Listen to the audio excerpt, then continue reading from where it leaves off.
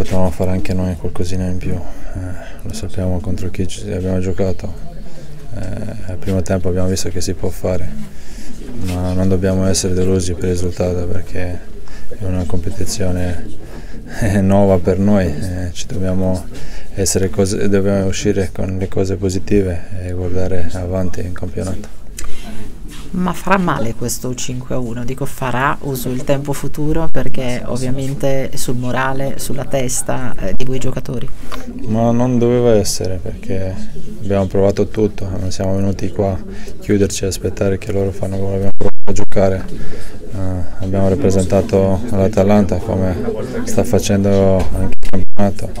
E, come ho detto all'inizio dobbiamo uscire con, con le cose positive che, che, abbiamo fatto oggi, soprattutto il primo tempo, e guardare positivo avanti. Ecco il tuo calcio di rigore, eh, l'Atalanta che passa all'Etihad Stadium, eh, poi magari, eh, come ha detto anche il mister, eh, dovevamo tenere forse un po' di più.